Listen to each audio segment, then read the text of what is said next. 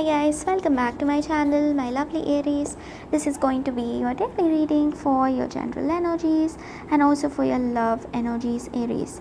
Let's see what's coming up for your general energies, guys, before moving on to your love energies, Aries. What is coming up for your general energies, guys?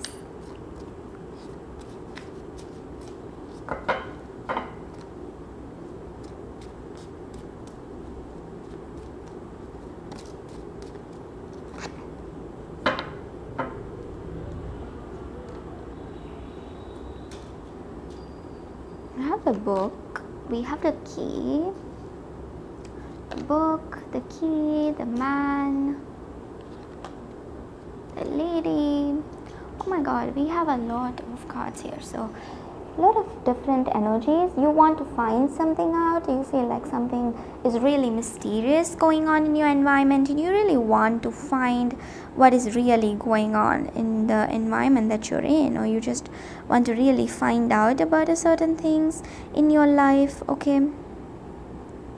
And you feel like certain things are not manifesting into a physical reality as per like you wanted it to be and therefore you just feel like you want to get things straight get things right in your life and you will do whatever it takes to kind of like manifest a certain energy okay?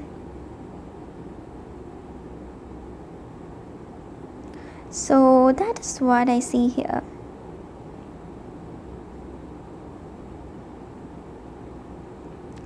you just feel so loving and caring also with the people that you're with.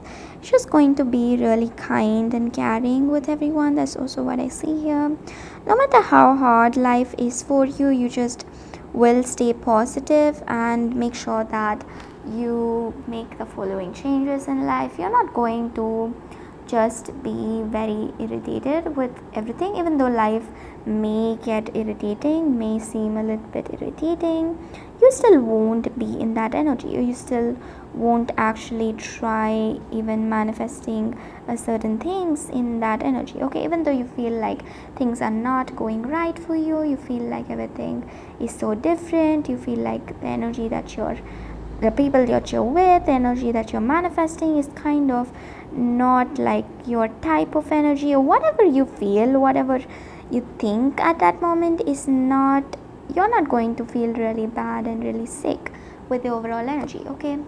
People will also kind of like spy on you or like there are so many people who has the eyes on you like they're going to like come towards you and see how you really act how you really behave because they kind of want to like really manifest you they want to propose you okay? But i also see here that someone is going to come towards you so before that they're kind of spying on you they're kind of mm, getting to know how you really are before they come towards you okay? So that is the general energy that i get for you all guys. My lovely aries let's see what's coming up for your love energies aries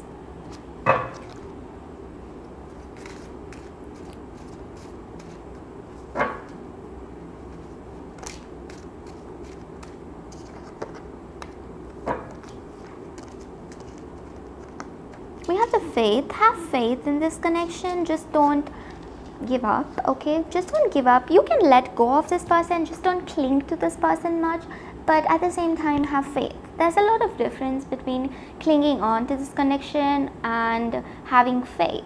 And you can let go of this person and still have faith in this connection. It's nothing like you have to always cling on to this connection and clinging on to someone actually means that you don't have faith in them okay? Letting go of that person definitely will bring you faith in this person or in this overall connection. So just don't cling on to them and just make them obey you and all of that. It's just going to make your relationship more this person is going to move more distant from you okay?